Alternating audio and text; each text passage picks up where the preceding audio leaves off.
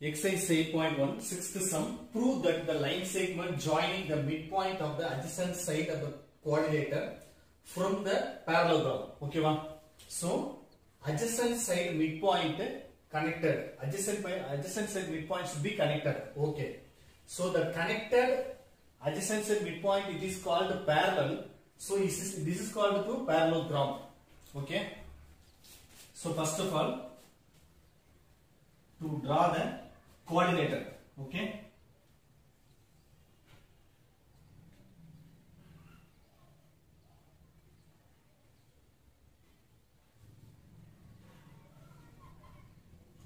so this one a b c d okay one so this one p q r s right so the position vector of the the position vector of the vertices of the quadrilateral.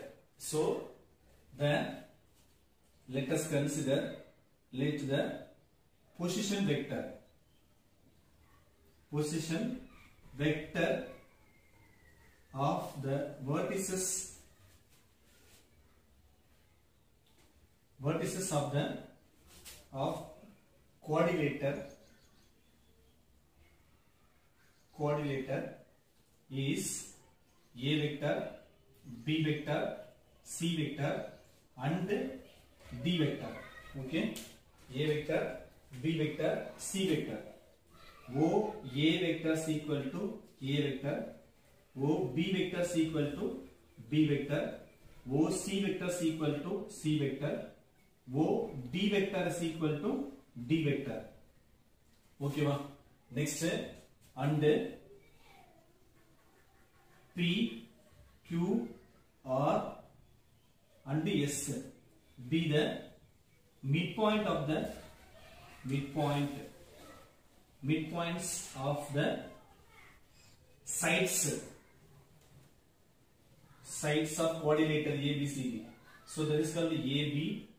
Next BC, CD. Next one DA. Respectively. Okay, va? So that is called OP vector is equal to OP vector. So this is called OP vector is equal to equal to A vector plus B vector divided by 2. Next one OQ vector. So OQ vector is equal to O.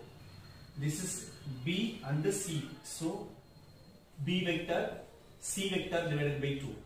Next one R vector that is O R vector is equal to C and D. So C vector plus D vector divided by 2. So next one the last one is OS vector. So OS vector is equal to D and A that is called D vector plus A vector divided by 2. Okay one. So first we want to prove that the values is the first value that is called SR next to PQ SR and PQ that is the adjacent side of the midpoint.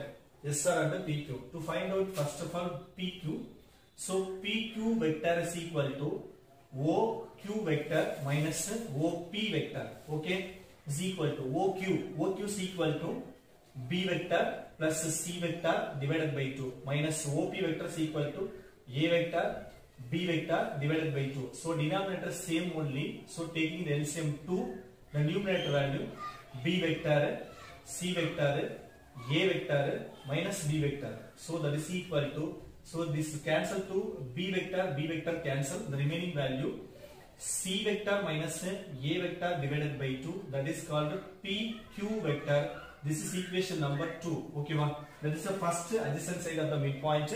Next, next let us take the second adjacent side of the midpoint SR vector. So SR vector is equal to SR vector is equal to OR vector minus OS vector. OR OR means D vector plus A vector divided by 2. Okay, one. Next, this is called O. OR means this this is not OR. C vector plus d vector divided by 2 next minus of d vector minus a vector plus a vector divided by 2 so the denominator same only divided by 2 so c vector plus d vector minus d vector minus a vector so d plus d minus d cancels equal to c vector minus a vector divided by 2 so s r vector is equal to this is called equation number 2 so equation from equation 1 comma 2 which implies that pq vector is equal to sr vector pq vector is equal to sr vector suppose sr into 1 is equal to 1 into sr vector so since this is called this is called the a vector is equal to a vector is equal to lambda into b vector that is a is parallel to b so a is this definition of the parallel uh, definition of the parallel vector is equal to condition a vector that is equal to lambda into b vector okay so that is a and b the parallel vector so this one pq is equal to 1 into sr vector so since pq is parallel to parallel to SR vector. So is parallel and parallel and equal. Why? Because the equal answer. So therefore